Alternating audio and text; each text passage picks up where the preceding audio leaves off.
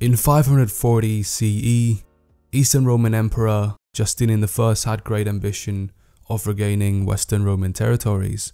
His goal was to restore the Eastern Roman Empire to what it was before the Roman Empire dissolved. However, just a year later, Justinian would struggle to keep his empire afloat.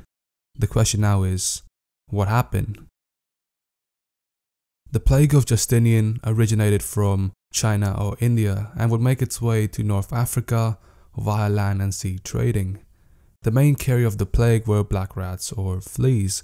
The black rats would often find themselves in grain crates or ships heading for African Mediterranean cities such as Pelusium, Egypt. From there, it would be a short trip before the rats reached Constantinople, capital of the Eastern Roman Empire. The rats would spread using military supply lines or other trading routes, and before long, people were dropping dead on the streets. The cause of the plague of Justinian was Yersinia pestis, the same bacteria that later caused the Black Death. Those infected by Yersinia pestis suffered from chronic pain, fever, headache, chills, abdominal pains, and swollen lymph nodes. Other side effects include delusions, nightmares, and comas. The plague could also kill you within 24 hours of infecting you, so safe to say it wasn't a pleasant experience. Those infected by the plague had three options home remedies, treatment from medical practitioners, and hospital quarantine. Those who sought home remedies relied on things such as cold water baths, blessed powders, magical rings and amulet, and various drugs. None of those remedies would actually help in treating the plague. Those who sought medical practitioner were treated by medical professionals sent from Alexandria. These practitioners were the leading physician at the time, but it's unclear if they were able to treat the plague.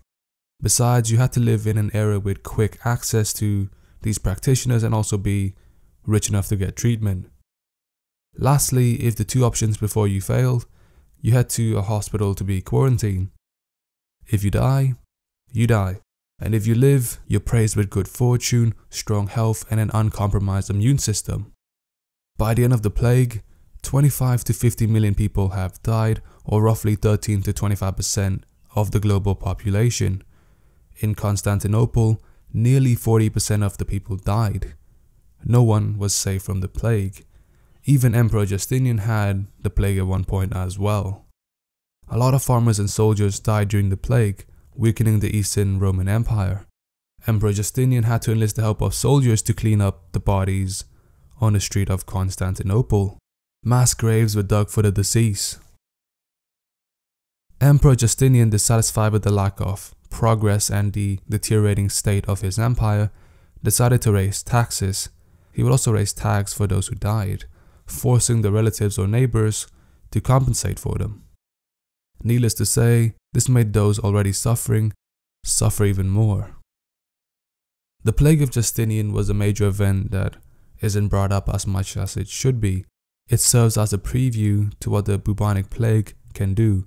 It showed how without proper prevention and treatment, the lives of millions can be lost within a year.